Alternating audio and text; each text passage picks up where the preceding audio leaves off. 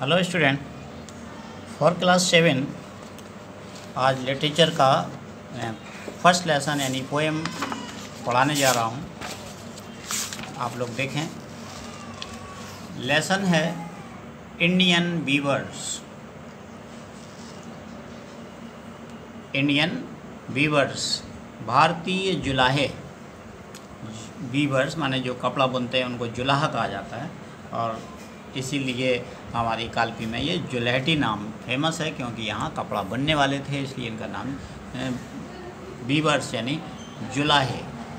तो भारतीय बीवर्स, जुलाहे से बना जुलहटी शब्द। सरोजिनी नायडू इसके लेखक हैं।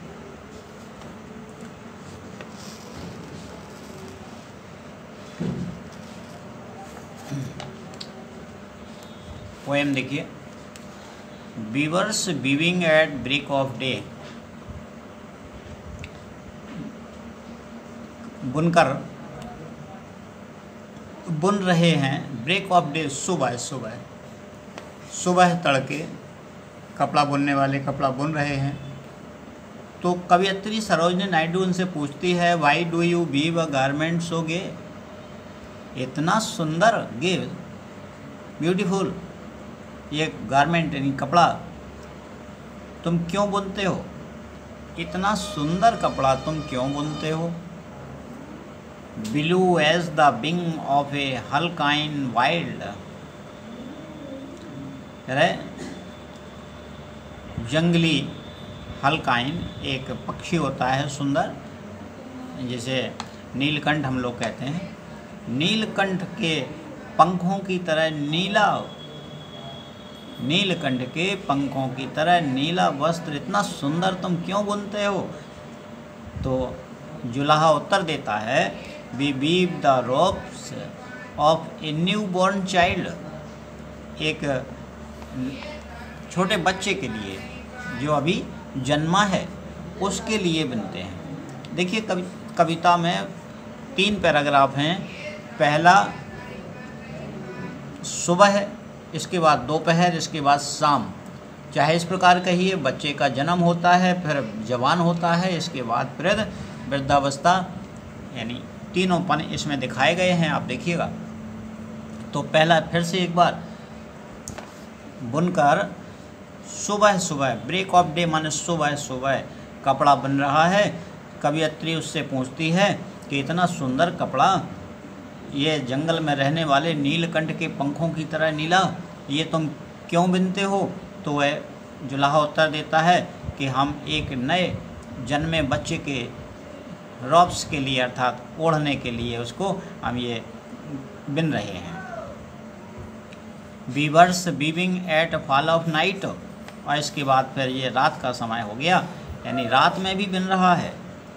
बीवर जुला जुलाहा यानी रात के समय कपड़ा बुन रहा है तो कवियत्री पूछती है why do you weave a garment so bright इतना चमकदार कपड़ा तुम क्यों बुनते हो? Like the plumes of a peacock purple and green अब यहाँ मोर के पंखों की तरह पर्पल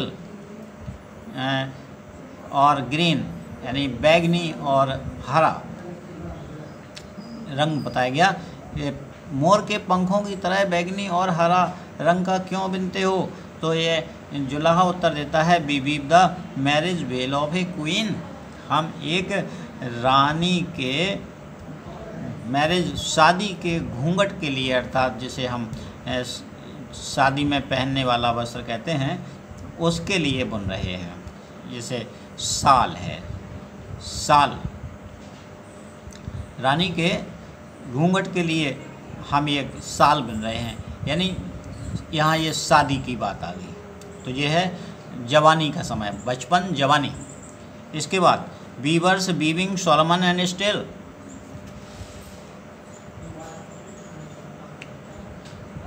एक बार फिर से इस पैराग्राफ को weavers weaving at fall of night रात में जब जुलाहा बिन रहा है कपड़ा why do weave a garments of right कवियत्री पूछती है कि इतना चमकदार कपड़ा तुम क्यों बिनते हो? Like the plumes of peacock purple and green मोर के पंखों की तरह बैगनी और हरे रंग का ये चमकदार वस्त्र तुम क्यों बिनते हो?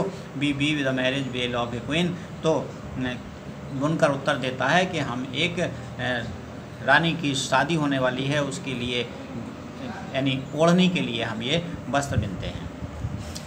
अगला और लास्ट पैरा है।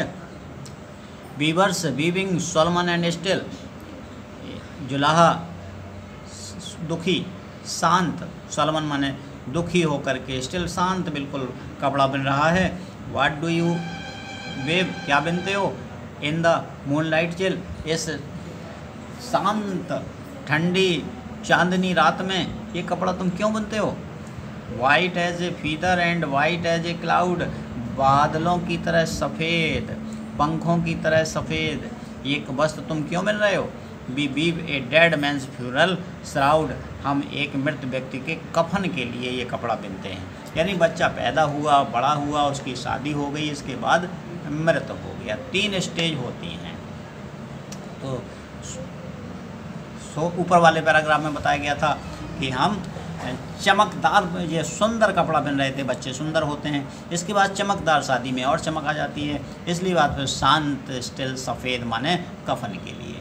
तो ये तीन पैराग्राफ थे, इनके तीनों का आपको अर्थ लिख लीजिएगा।